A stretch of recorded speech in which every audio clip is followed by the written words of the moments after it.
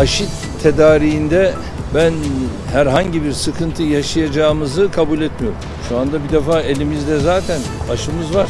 Yani yeteri derecede var.